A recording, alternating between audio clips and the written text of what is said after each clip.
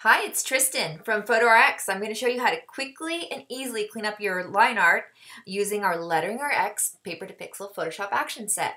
Um, for anyone who hasn't used Actions before, it's a way to automate tasks in Photoshop and cut out a huge learning curve.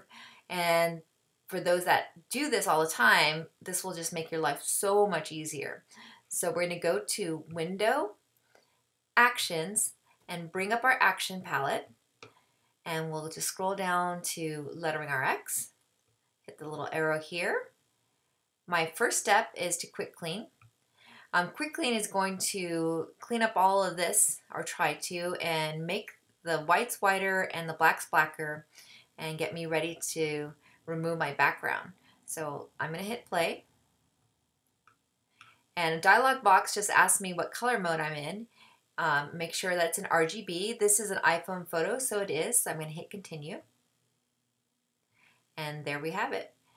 This is what it was before. Here it is now. It's better, but not quite there.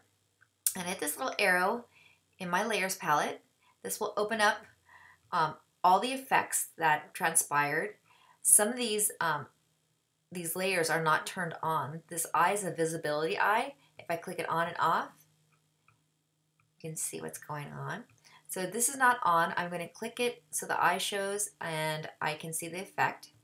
And that's my shadow lift. That looks better. And I'm going to come down to cleaner slate. That's not on. I'm going to click that. And that's looking pretty good. So I'm going to close that. And I'm going to scroll down to flatten my image.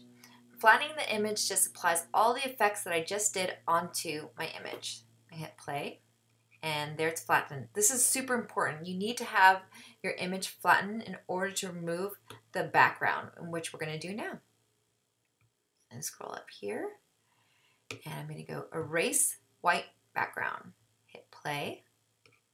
Here's a dialog box. You can read over what it says and hit continue. And there it is. I have a totally cleaned up artwork. Now I can take this image and I can use it, I can move it around, I can use it on any colored background, which is super cool.